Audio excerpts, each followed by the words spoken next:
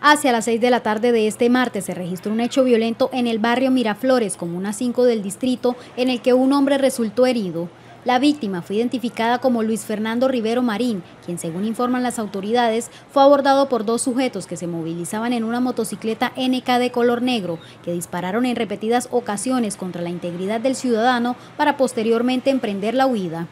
Rivero Marín resultó con dos heridas por proyectil de arma traumática en su cuerpo, una en la región lumbal y otra en el brazo izquierdo, por lo que estuvo que ser trasladado a un Rivero Marín resultó con dos heridas por proyectil de arma traumática en su cuerpo, una en la región lumbal y otra en el brazo izquierdo, por lo que tuvo que ser auxiliado por unidades del cuerpo de bomberos, quienes lo trasladaron a un centro asistencial de la ciudad para recibir atención médica. Las autoridades hicieron presencia en el lugar de los hechos para realizar las respectivas labores de campo e investigación del hecho.